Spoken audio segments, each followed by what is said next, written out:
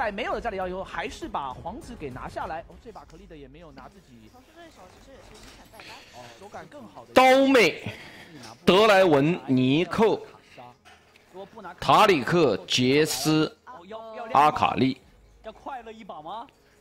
看了上一把哈纳比的一个瑞兹皇子布隆。那我们来看看国服第一风男。其实讲道理，我自己比较想看瑞文，因为那瑞是怎么去按啊？是偏 AD 的会好。这也是一个想法。挖掘机李青。看一下最后两边的一个阵容，并没有出现可能像我们今天看搬了两个 ADC。艾翁这么花的内容出来了，嗯，两看得出来，IG 这里自己这时候立储 S，用的是自己的皮肤。看一下啊。打广告。其实，在阵容的一个强度上面评级的话，可以明显的看得出来，在我们大数据分析一波，更加偏向于 SKT 这边的。是的。刚来人呢，有人偷奖杯，那边已经在把奖杯。凯南。收了，收了，收了，收了。瑞兹皇子。前期打野的动向。拉的一个飞星，但小兵因为双方互 A 的话，其实所谓的变动的，挡了一下那个飞星。因为这样的互 A，其实 Luki 还是为什么是前拉飞星，就是因为他想要尽可能的快速的触发电刑。对。但上路这一波的话，葛夏这边打的是比较主动的。其实塞拉斯在面对凯南的时候，主要看一个技能的使用，只要他一技能拉得好，在换血上只要打起来的话，其实会压制可汗会比较多。然后你要看帅哥这把的基石符文呢，他带的是很。偏的很偏的彗星，这个彗星就是我纯打线的一个想法了。我们看过这次大赛里面余震电刑塞拉斯，甚至 Caps 的一个征服者塞拉斯，对。但是彗星塞拉斯其实真的很少见，很少见。就彗星就是我自信，我 Q 技能放得稳，我会疯狂消耗你，就敢这样打。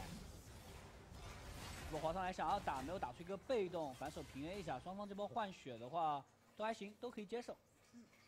这把我觉得布隆配卢锡安，这个组合有点厉害。这个组合很容易触发他的被动，两下就打晕了。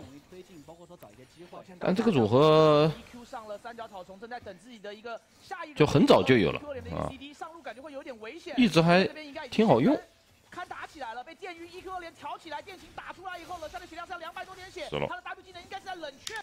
起来了，被的 E Q 二容易推进，包括说找一个单线，这边是节奏其实特别特别重要，因为啊都还行，都可以接受。想要打没有打出一个技能放是真的很少见。两分二十七秒。对，但是会啊，罗夏这边打的是比较主动的。其实塞拉斯在面对凯南的时候，主要看一个技能的使用，只要他一技能拉得好，在换血上只要。打起来的话，其实会压制可汗会比较多。皇子打了个河蝎，这个眼这个眼看到了，点了个信号过来打蓝。我们看过这次大赛里面余震电刑塞拉斯，甚至 Caps 的一个征服者塞拉斯，对。但是彗星塞拉斯蓝打完之后吃蛤蟆。很少见，很少见。就彗星就是我自信，我 Q 技能放得稳，我会疯狂消耗你，就敢这样打。我皇上来想要打，没有打出一个背。注意看小地图。双方这波换血的话。都还行，都可以接受。注意看小地图。双方打野的节奏其实特别特别重要，因为就对线的强度。这里给了个信号。这个眼还在。这边是占据比较多的一个主动权。其实中下两条线在 S K K T 而言，他们会更容易推进，包括说找一个机会。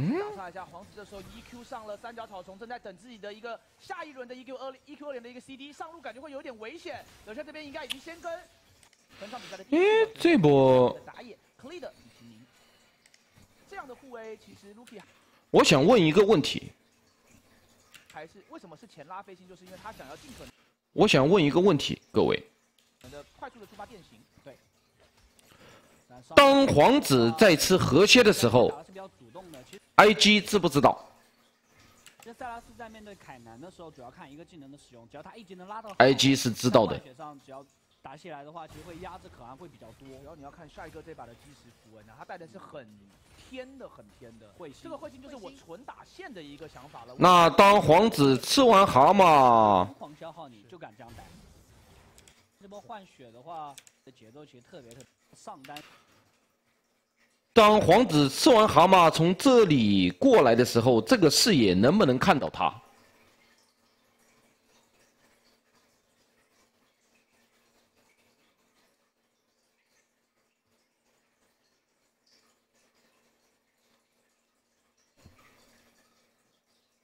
这个视野能不能看到皇子？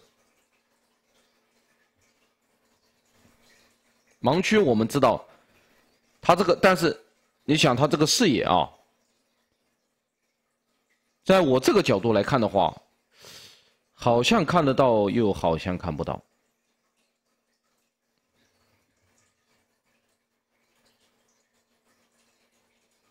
好像看得到又好像看不到。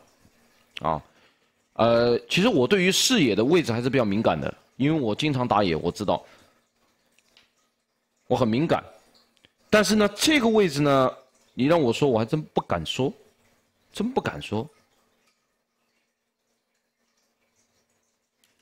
单线这边是占据比较多的一个，但是吧，你说走到这个位置，我感觉是能看到的。皇子刚才这。这个位置的时候呢，我又感觉看不到；这个位置呢，又感觉能看到，明白吧？等看回放是吧？好。抱歉打岔一下，皇子这时候 EQ 上了三角草丛，正在等自己的一个下一轮的 EQ 二 EQ 二连的一个 CD 上路，感觉会有点危险。冷夏这边应该已经先跟看打起来了，被电晕 EQ 二连挑起来，电刑打出来以后，冷夏的血量。我们看一下回放是吧？他的 W 技能应该是在冷却的。最终没有办法换掉。那我来，我们来看一下。但这波睡到了，睡到了塔下，这康塔过来，Faker 直接交出自己的闪现，继续反身是把您盯着了塔下，您哇，这个 TP 完了，非常的危险，Click 来了，只能是交闪，但是这个位置不好走啊。这个位置其实刚刚 Click 是有点小失误，他应该是有个 EQ 闪的一个念头，但是他的 EQ 的效果已经。取已经消失的时候，他才交闪现。对，就只是闪现跟了两下平 A。而您也知道自己是一定走不掉，他知道他死前的任务就是想办法让可以的把技能打。哦，这样就看不到了。这样看就很明显是看不到了。对。因为我们从刚从小地图看，那他头像太大了，这不好分辨啊。但这一看就看到。至少让这波的看不到。打野是互换的。对，这波主要是绕了个视野，让的下。最后说就花很多时间。啊，这个地方，瑞兹的这一波，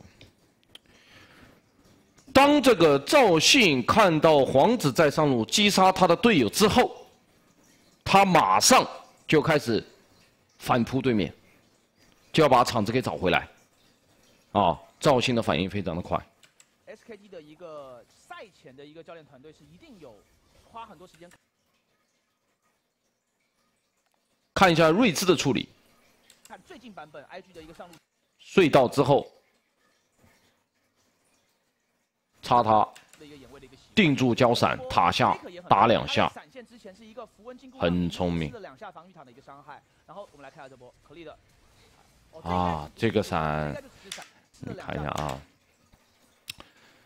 皇子这个时候呢，忍不住了。他在这个角度出 EQ，他其实知道。他是中不到的，他知道。赵信卡了一个这个位置很好，他不能往后退。他往前走是死路一条，往后退也不行，往左边走更让皇子能够 E Q 中他，所以卡在这个位置很聪明，这个走位满分，满分。他没有往这边走，也没有往后退，啊，他卡在那个 E Q 击飞不倒的位置。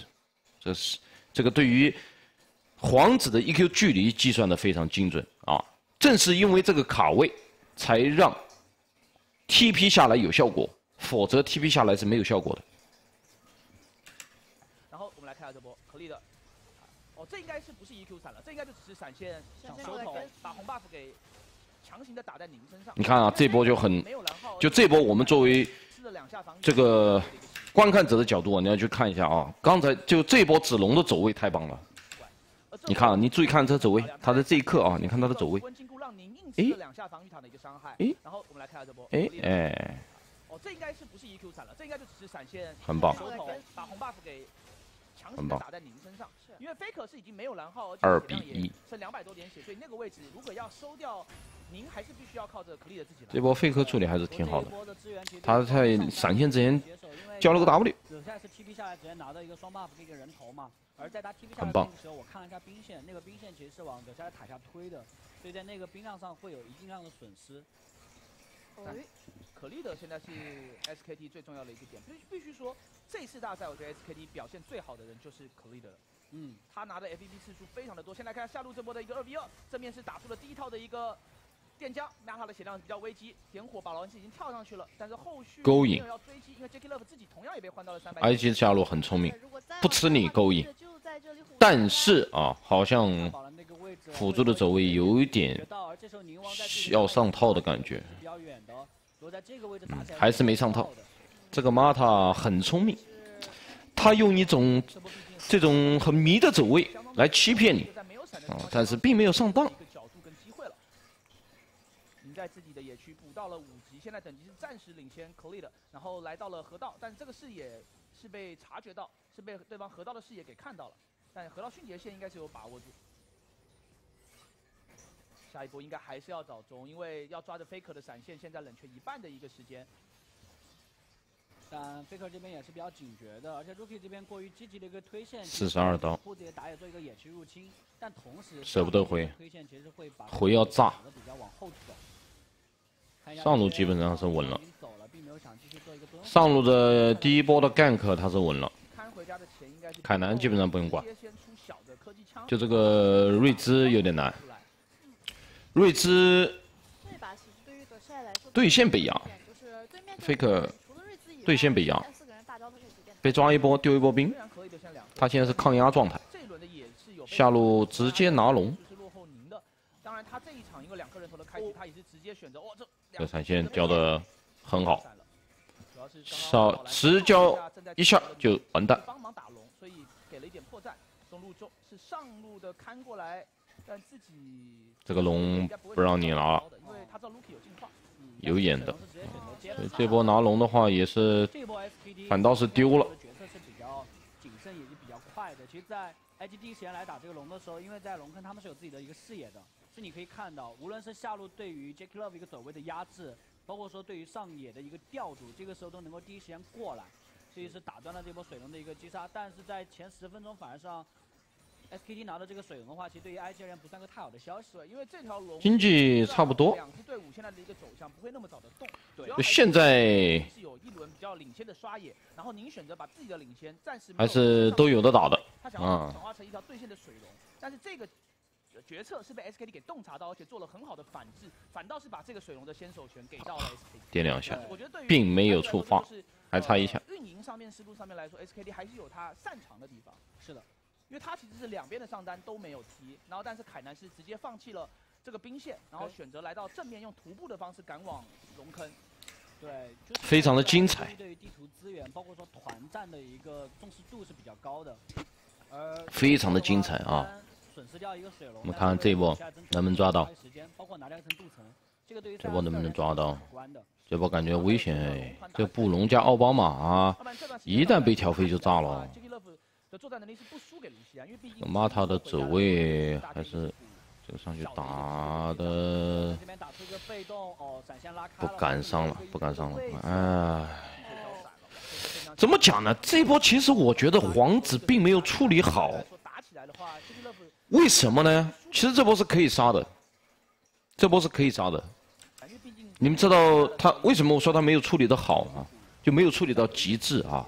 是的，但这边打出一个被动，哦，闪现拉开了，皇子没有一个 EQ 的位置。你看啊，这地方我们有几个点要讲啊。我先问各位一个问题。首先，你看啊，在这个地方，玛塔的走位啊，他的走位其实，在我看来是非常的 聪明的，因为他没有表现出来，就是哎，我打野在，我并不会故意的演给你看。你明白？你们明白我的意思吗？卢仙直接上了，卢仙认为这个不能再等，等的话太拖我时间，啊，太拖我皇子发育，所以直接上去打了。那马塔一看，哦，一上我也上，好上来，先给被动。那皇子一看你们上，我肯定也要上了，对吧？上完之后呢，在这里呢，他是闪现掐得很死啊，这个辅助的闪现交的也很棒。他是在最后一下的时候要触发被动的时候，啪，闪现先拉开，让你皇子没办法接一套技能，这个闪也是非常完美的闪，时机恰到好处，啊。然后呢，你看我我想问各位一个问题，在这个地方被晕住的时候，我假设啊，我假设皇子他怕闪现给他一个天王盖地虎，然后平 A 一下触发战争律动之后，一个 EQ 拉出来，会怎么样？结果会怎么样？我想问一下各位，你们设想一下，对吧？然后，所以你看，皇子他鼠标往回一拉的时候呢，他认为这波不太稳，他认为不稳的问题，这个原因呢有几个：第一，在塔下；第二，对方会不会有支援？哦，他这个这一刻的这个大脑的判断啊，并没有做到极致，并没有做到极致。如果他这时候思路很清晰的通过刚才他在草丛里面蹲的这个时间内呢，分析出来赵信不在这块区域。上路没有 TP，中路还在中路打钱，那么他可能这个鼠标不会往后走，不会往后点。你说皇子没有闪，闪现还有四秒，好，当我没说，继续下一波。拉开 EQ 的位置，小的一个机械腿结账，是的，但这边打出一个被动，哦，闪现拉开了，皇子他其实走上来盖也是可以啊，但是他闪现没好，没有一个一 Q 的位置，机械交闪闪现没好。他如果走上去盖的话也是可以的，但是他少了一个闪现的瞬间的突袭的话呢，会浪费那个输出时间，这也是导致他不不太那么果断的一个原因。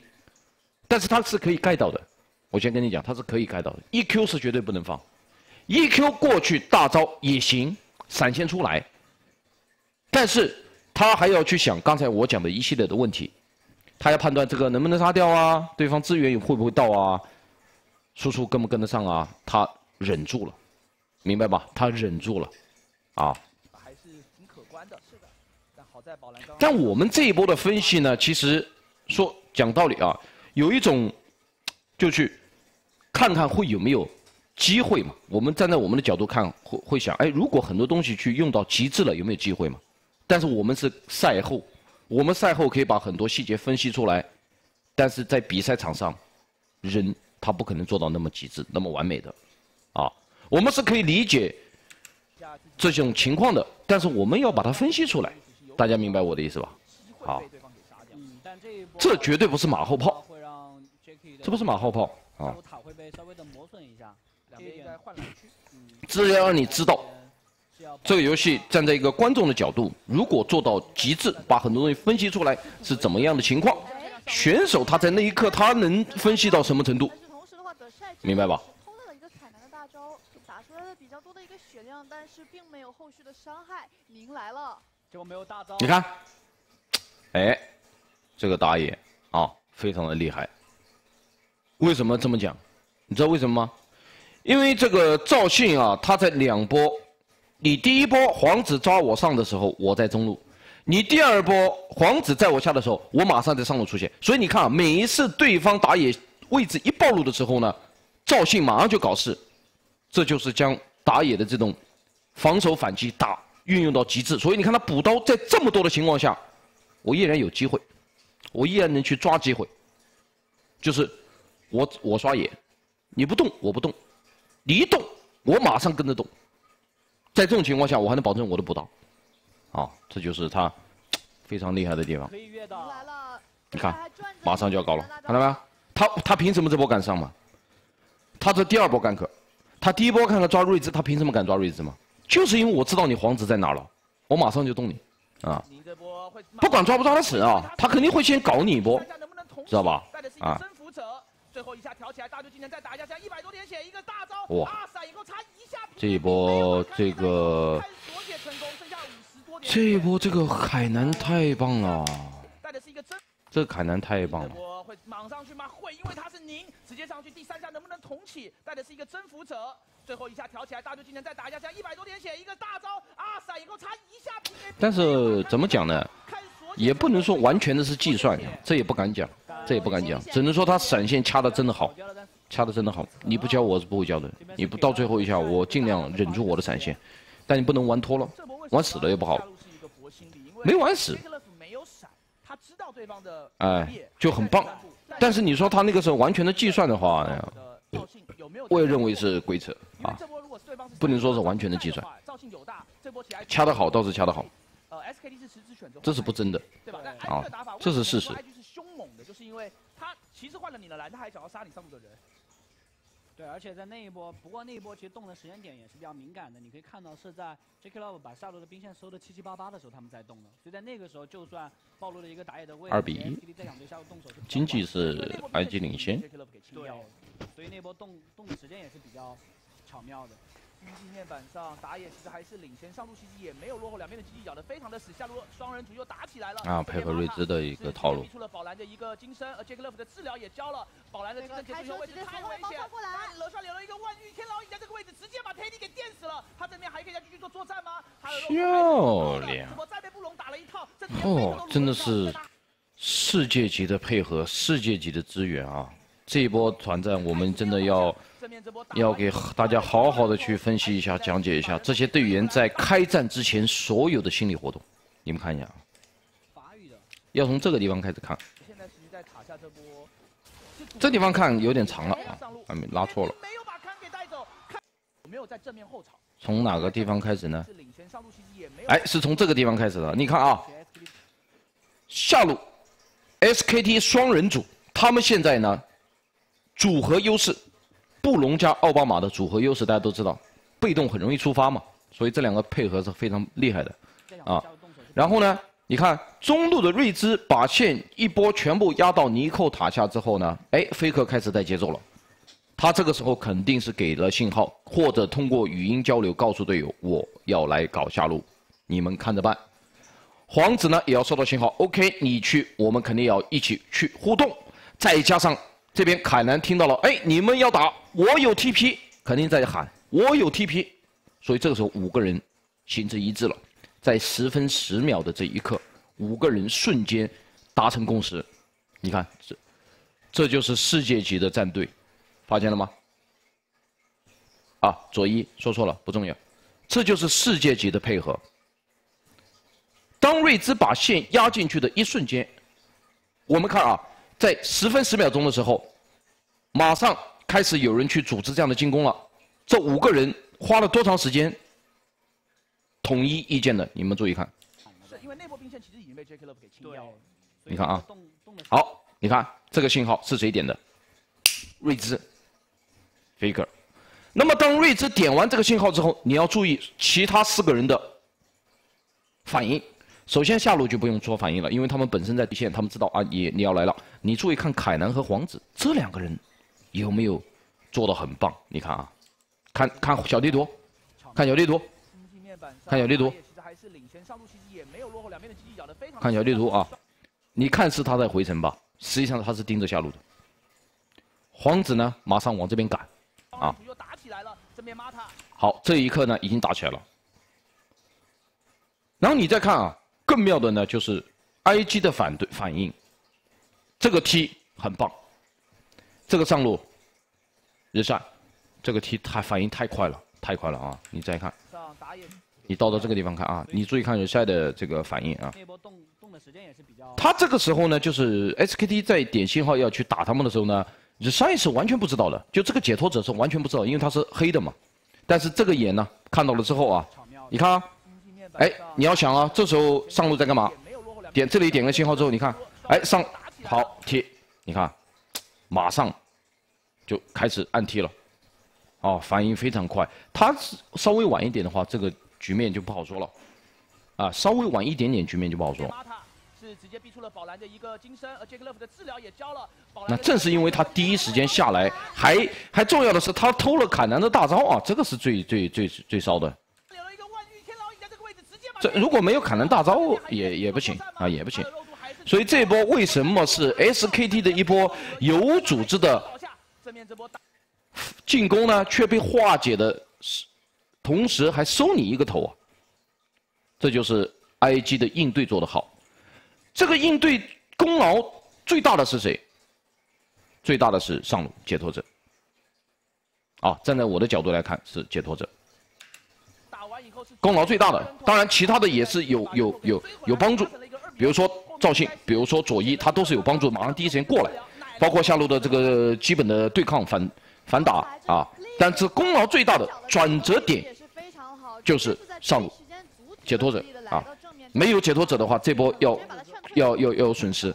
SKT 绝对是占先机优势的，他们是主动发牵手，加上布隆加卢锡安的组合威力，而且整个队员的这个位置是比较集中的啊，就是凯南也好，这这这些这个这也是比较集中的啊。他们会有个时间差的优势，大概是几秒钟啊啊，这个啪踢下来。踢下来还有一点就是得有凯南大招啊！你没凯南大招的话，呃，也是得垮啊！你看跟过来，哇，这个太棒了！没有没有他的这个细节操作和凯南大招以及他的这个 TP 的时机都不行啊，少一个都不行。所以这波 IG 反打的太太厉害了。对他不想给这些过于的机会。如果这一波做了一个换头的话，那这一波让 SKT。头皮发麻啊，真的是头皮发麻。世界级的应对，但是这一波的话呢，打了个能不能一换一？一个一换一，哎，这个厉害。这一下子把 SKT 打的有点，哎呦，我靠，这 I G 有点强啊，就这种感觉啊。对，打得很谨慎，一般是收了一个人头就果断的一个。所以你看他，他主要在于会发现，在打这种这波呃皇子的这个初期啊，配上辅助的资源，打你个一换一，是吧？哎。因为如果宝蓝不在的话，其实这波结局会完全不一样。但我们那波就不分析了啊，因为那波它只是一个小会战。下一波的进攻权，因为在打野位上面来说，闪现您会先好。当然，下路的对象还是要小心。但现在好消息是，Jacky Love 的闪现已经做好，Teddy 没有双招。而且虽然说卢锡安是在前期打卡莎比较好的一个英雄，但这一把阿水的补刀呀特别稳，经济差不多，做到太多的一个压制，反而是有一个领先的。然后这一局下路我觉得两边都这个局 SKT 赢了，赢不赢不重要，谁赢不重要，我们是在看这个过程，两边的。线上水平、个人操作、团队的配合意识，啊，我们看的是这个。啊，这波单杀了。这个单杀了就在士气上啊，就就英雄联盟这个游戏呢，是你跟我一 v 一单挑的情况下，我被你干掉，这个其实会有一些在士气上，啊，就会。嗯，这波你不得不讲一点啊，就是 IG 的上路实在太强大了。为什么啊？他在面对 SKT 的这个上路可汗，可汗我知道他水平是非常高的，是一个非常非常顶尖的上单啊。我上来皇子抓了你一波的情况下，他你看啊，他九十刀两个人头，然后单杀你一波，他该支援的支援有，我短手打长手，而且我是短手打长手，不得不服。这一盘，我认为 IG 的上单赢了啊，赢了。我我我敢讲这句话，就是 SKD 的上单这名选手对于日晒，他会有个心理的阴影，他会对日晒的水平这个评价是非常高的。大家都没有想打的很保守。因为你想一下嘛，解脱者打你砍呢，我上来被你皇子抓一波，然后你整场打到十几分钟，你发现他该支援支援，哎，补刀该有有。然后我还反手找了个机会杀了单杀了你一波，这对于凯南来讲是，这非常伤的一件事情啊，非常的。互相劈起来，最后是由惹帅，我觉得这是惹帅个人的理解，就他的这个领先，如果以塞拉斯跟凯南的一个对阵，就我个人的理解跟看这几天的小组赛，嗯，就我觉得塞拉斯应该是小领先，对，但是主要还是他这把彗星以及他精准的一个 Q 技能的一个判断。对，而且你看，嗯，他被耗了一点血。给到之前，可汗的一个状态就已经比较差了。哇，这一波。这边小小的一个位移一下，打一下之后往前追，开启大招直接往前逼近。大招开慢了。凯南虽然反上，可汗的大，但是血量已经太低太。大招开慢了。那我觉得这波看也是觉得有点怪，就是这个人怎么这么凶？就明明他的一技能一兔强撸没有撸到我，但是他 其实你在整波的这个单杀里面，你想想看，乐帅打了多少波 Q？他的 Q 技能应该打了四个 Q 啊，对，最起码三个以上，往三个往上走嘛。但这一波的话，其实可以看到，在之前杰老师有说过一个点，在 IG 在打一些运营侧的决定的时候，其实 SKT 的反制是比较快的。但可汗这波单点暴露出来的一个问题，三比四单杀了一个。是因为主要还是虽然前面换人头，但 IG 前面两个人头给到的是帅哥，这也是为什么这本届 MSI 来说，所有队伍最讨最去担心的点，包含前三天我们看到。其实针对惹帅的频率是很高。先来看看中路这波的一个先手，EQ 是挑到了宁，宁赶紧开启自己的星月守卫，交了一个闪现。但是凯南跟闪下去以后，宁知道自己走不掉，回头一技能想换点人。这个换到 Luki 也是被 Faker 强闪下去。看中路这波的一个先手，这个你看啊，去前面两个人头给到的是帅哥，这也是为什么这本届 MSI 来说，一个位置是看到的。所有队伍最讨最去担心的点，这里点了个信号，他在这里排演。在排演的时候呢，自己是有闪的，上路是支援不了的，凯南是消失的，下路是不见的。当然他知道下路是来不了的，因为这里有个眼封锁了。呃，这个眼其实排的有些，这个眼排的有些这个有失水准。我不知道这个形容恰不恰当啊？就这个眼的话，在。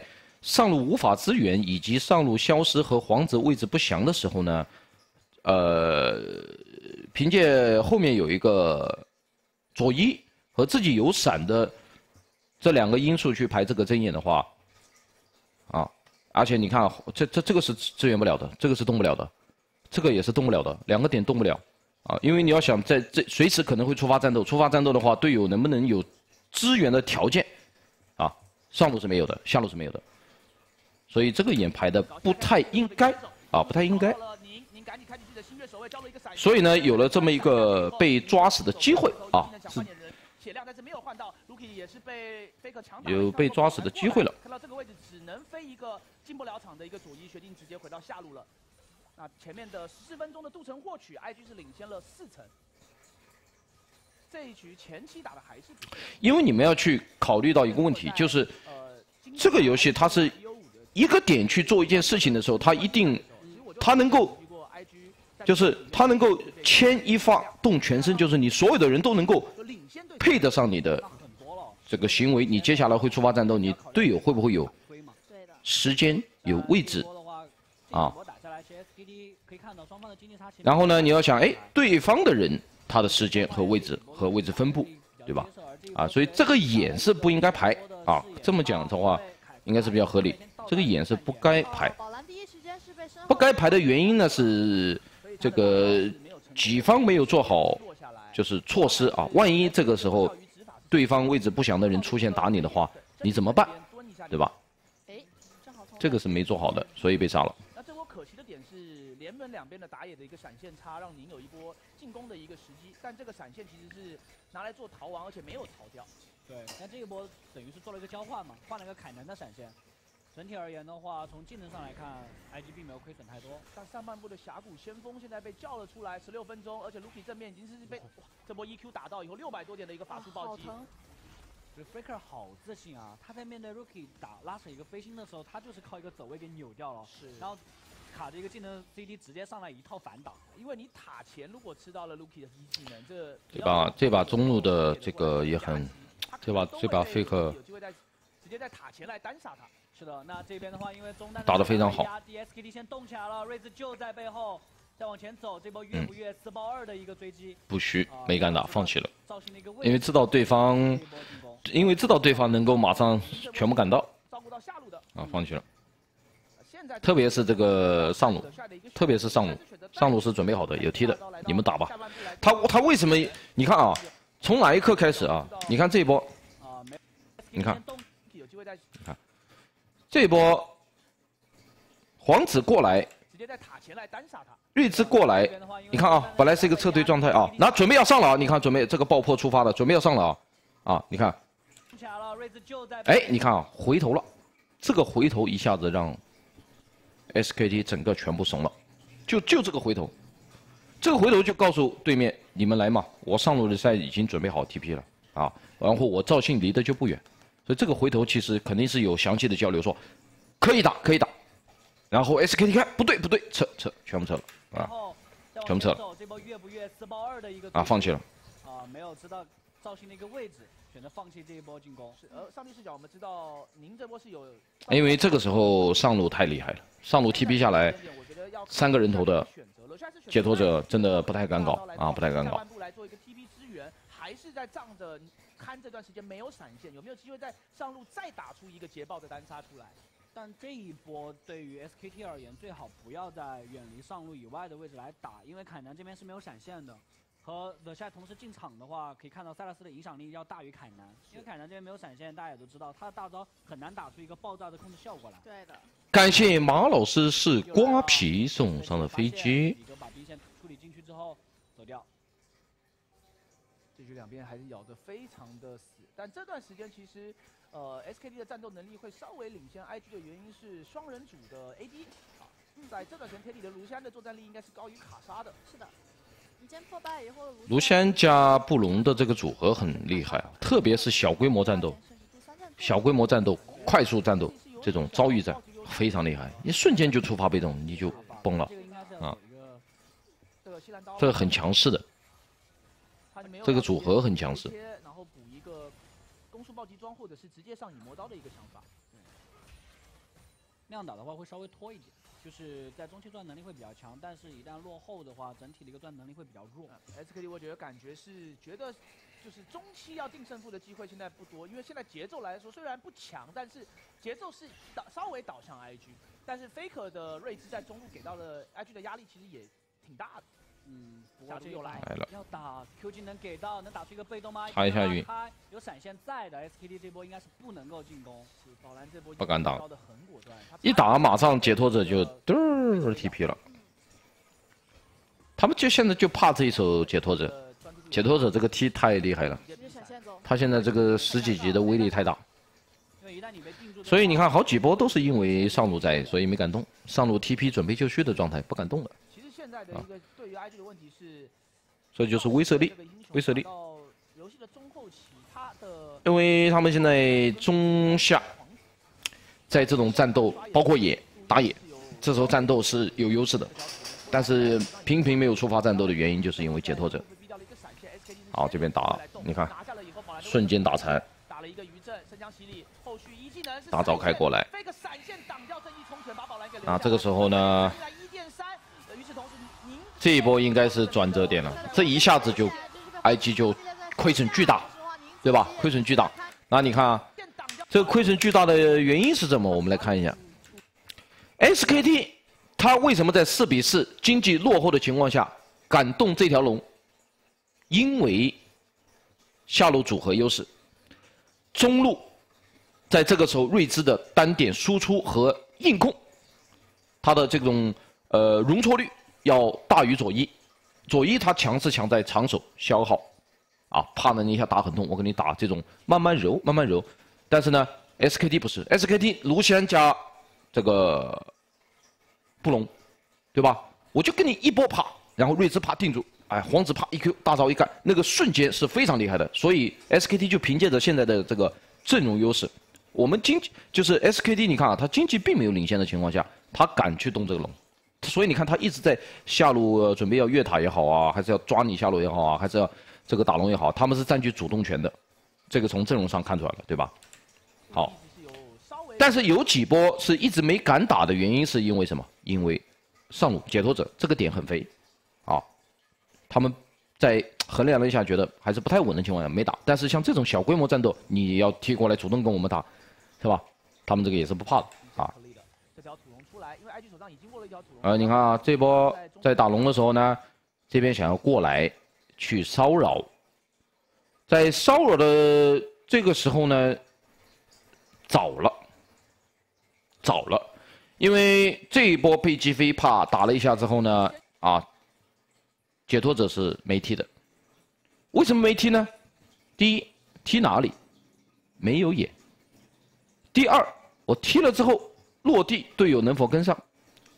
中路可以，但是打野跟不上，打野的位置过远。啊，他这四个 SKT 这四个是比较居中的，那凯南也是随时可以踢的，啊，所以从阵容上这个，而且就是刚才讲了，他阵容在这个时候跟你打一波他是不虚的，啊，所以两种原因，这波过来骚扰的这个举动呢，啊是不太合适的啊，所以还没有再打的时候呢，就已经被打残了。那这个时候你双方上路再踢，你也打不过了，对吧？也打不过了。啊，这个过来把他挡住，啊，把他这个这个这个这个 W 挡住，而且自己也没闪了，跑不掉了。然后呢，这边也被留下来。这边凯南哎一看哇，马上开大，把你全部留下。那这波呢撤也撤不掉了，没办法了，所以消耗一下 ADC 也不敢上了啊。这后面就是出了连锁反应，所以重点在于什么？重点在于这波辅助被开，对吧？重点在于辅助被开。那么辅助为什么被开？你要去想一个这个问题啊。你看辅助的位置，下路组合就是辅助看到了就知道他们在打龙，但是这一块是没有视野的，所以呢，他不知道对方的详细人员的位置分布。哎，他你看啊，他用这个 ADC 啊，用这个 W 探了一下啊，然后这边被锤了一下之后呢，被锤了一下之后啊，这个就用翅膀去放这个呢，其实有一点，呃，就瞬间的判断没有那么准了，因为这一波呢，根据打野的位置和阵容的问题，当过来发现布隆给他这个一个阿杜根的时候呢，他应该马上就走了，不是放翅膀。这个举动是不是放翅膀？应该是啪跑，啊！在中路被逼掉了一个闪现。因为你看这个，所以就导致这个就就对对吧？这个时候其实你看你你你解脱者下来也不怕，然后你下来也没好位置下，最终没好位置下，啊！然后呢，你就算下来了，你要考虑到一个问题，就是你已经被打一三分之二血了，你怎么打？打不了了，对吧？再加上阵容的这个问题啊，所以。然后这边呢也是被留下来了。这边在发现，你还要还要考虑到问题啊，就是当这个子龙和和佐伊啊，包括这个解脱者过来看到这一幕的时候呢，第一反应的话呢，是要跑了，是吧？但是呢，就由于啊稍微慢了一丢丢，那凯南很聪明啊，凯南借机马上开大闪现冲到你人群当中，把你全部啊没有交闪啊，就直接过去把你留下了。留个闪准备撤的，啊，这个凯南很聪明，就那个情况一出来，苗头一出来，马上就留你，啊，但是重点呢是在于那个这个这个这个呃视野盲区，视野盲区在那一刻呢，从一个上帝视角来看的话，也是有办法化解的，但是这个对于队员的要求非常高，非常高，就是我看到你在打龙，你这个布隆一个 Q 过来的时候，我马上第一时间跑，如果我们现在来看的话。再来一次，你再去打一次，他肯定是跑，他绝对不跟你打。但是临场不可能做到那么完美啊！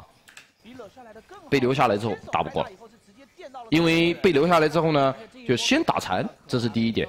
第二点，队友的位置不齐。第三，上路没法踢，没有角度踢，啊，没有一个好的位置踢，然后再被留，一下子三个头没了，啊，损失很大，这损失很大。这个也是又搞不住了，这个太痛了，这个瑞兹打的太痛了，瑞呃这个凯南一失血撤掉，很厉害。啊，这个就有点，这个呢就是在硬守这个塔了。没闪啊，没闪，有闪的话应该是直接闪了。呃，这个时候呢，整个呃被攻破了，被攻破了。这波也是一个连锁反应啊，因为下路和阵容组合这个连锁反应，反打的话呢打不了了，啊打不了了，输出差了。继续做一个输出，这波主要还是因为 IG 有想要打这条土龙团的一个想法，有想法的。你看他是被皇子出来的身子给挡了一下，被被挡住了。被皇子，被皇子，对，应该是皇子。挡不挡都得死，因为这两个都有闪啊。所以重点不是说，不是说被挡被留，是。是，呃，在那那种情况下没办法做到第一时间撤，因为没法判断那么准。再一个呢，就视野视野有差，视野有差的原因是因为阵容问题。前期的这个小规模战斗阵容问题导致下路一直被被视野封锁，你不敢做野嘛？你阵容打不过，你前面不敢做嘛？你下路压不过去，你不敢做嘛？对吧？啊，做不了视野。那在没视野的情况下，肯定就也不会，就让他的判断更难了。对吧？他要视野看得很清楚，他可能判断就比较准一点，因为我知道你人的具体分布，你上能秒我，还是上能把我打残，我都知道，看得清清楚楚，他也不会给对面的这个这个这个机会了。下路那一波其实宝蓝并没有，就刚刚在第一时间可能是误爆了啊，是没有交掉任何的闪现去留下宝蓝，这也是很关键，就是 faker 的一个很巧妙的一个曲径折约的一个使用。对，那波主要是阿水他是交闪现躲开了，所以有一个闪现的特效跟音效在哪。这就是我们说 IG 可能会步入的一个问题，就是说有些时候他如果在呃。打到九比四的时候，在这个时候呢，其实已经开始，呃，不能说这一波，就刚才那一波，在小龙那个地方被杀掉两个人之后，就开始三个人吧，还两个人，那个时候就已经就拉开了，啊，就拉开，拉开就不好打了。都是世界级队伍，一旦有一方有小小的这种优势的话，也不，其实这个也不小，两三个人头也不小了。这种优势一旦出现，后面就马上被很难打。被全面压制的无法呼吸，因为它整个是联动的。应该是看到了河道有 IG 的视野，但是一直没有看到。照理来说要出现在侧翼准备。哎，这个时候就很难打了。这个时候 IG 想要翻盘的话，他们除非打出逆天的一种配合和操作才行。用逆天来形容，应该比较恰当吧？啊，很难，就是很难。你要打出这样的一个操作和机会，那要看各种因素，比如说阵容，比如说 SKT 给不给机会，对吧？等等，比如说状态等等，全面结合在一块，才能会出现这样机会。你少一个都不行。秒了，你看秒了，这个秒也是瑞兹这个硬控的威力啊！你看这个时候其实都不是团战了。这种阵亡都是说，我不敢跟你打架，我的野区、我的视野被你压制。你看啊，这边过来迅速打，说视野被你压制，我不敢跟你打架，所以导致呢，我很被动的去猥琐的做视野，对吧？然后呢，猥琐的去发育，那对方啪一抓住机会，又是这种瞬间硬控，你没没办法，对吧？没办法。这个其实打的这波打的已经很好了，但还是没办法，还是不行。因为差差距大了，差距大了，不行，没了，没了。哇，IG 这一把要打到这个地方，其实应该是结束了，是吧？就没没法打了，对，可以这么讲，没法打了。嗯，十三比四。所以后面的话，基本上就是被碾压了。但是呢，转折点是在刚才那个小龙那个地方啊。其实你看啊，打到十七分钟的时候。打到十七分钟的时候，不能说十七分钟，就是打到打到哪一波的？的决定的时候，其实 SKT 其实你在整波的这个单杀里面，你想想看，乐帅打了几天的小组赛，嗯，做到太多的一个压制，反而是有一个领先的。这倾向就三比三。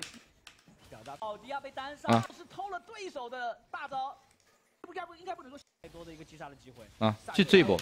这个位置是吧？这么远的远不想给人，打到十几分钟的时候呢，SKT 在这个时候已经对于 IG 产生了一种恐惧感，一种恐惧感，啊，不能用恐惧可能不太合适吧，就是有一种哇，这 IG 好强啊，有一种这种感觉。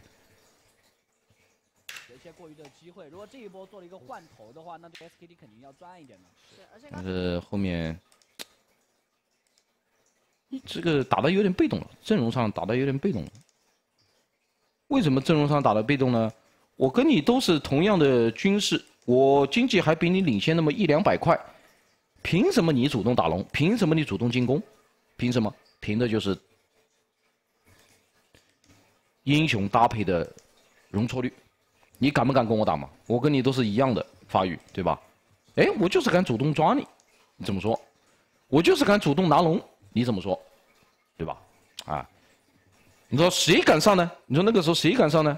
只有辅助敢上，就是那个加料，其他的上去，不管是皇子先手、睿智先手，还是布隆、奥巴马先手，你都扛不住，瞬间打晕、瞬间打残、瞬间定住、瞬间秒杀，都是这样的，啊，所以埃及的他这种。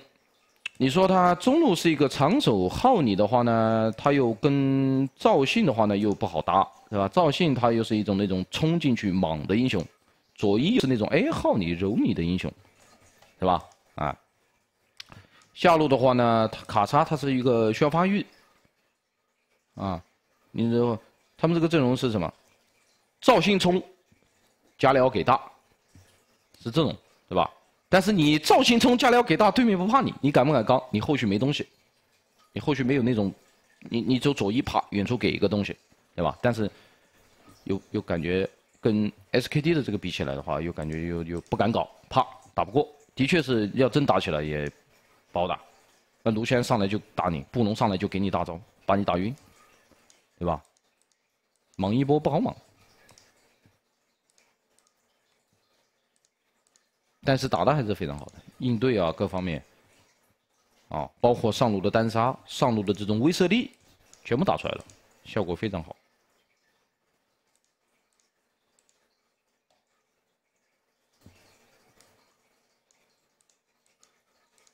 哎，还没有五号啊？